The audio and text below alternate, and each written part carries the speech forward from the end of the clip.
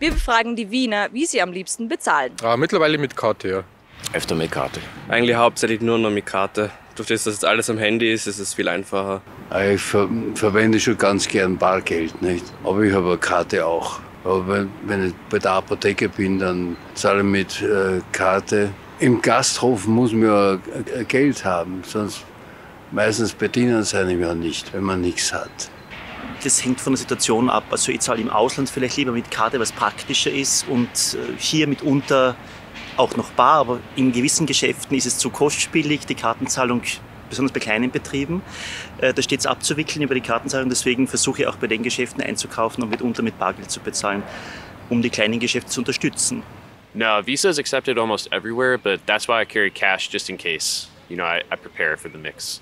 Gibt es noch Sachen, die Sie im Bar zahlen und wenn ja, welche? Wenn, dann tatsächlich eigentlich nur so kleine Sachen, wenn ich mal schnell irgendwo in, ins Geschäft rein muss. Und größere Geschichten zahle ich eigentlich nur noch mit Karte. Ja, eher im Restaurant. Das ist eigentlich so die Hauptsache. Ja, im, im Laden zahlen wir nur noch mit Karte. Es ist ein, ich habe hab, äh, zeitlang nicht mehr in Österreich gewohnt und da ist alles mit Kartenzahlung gegangen.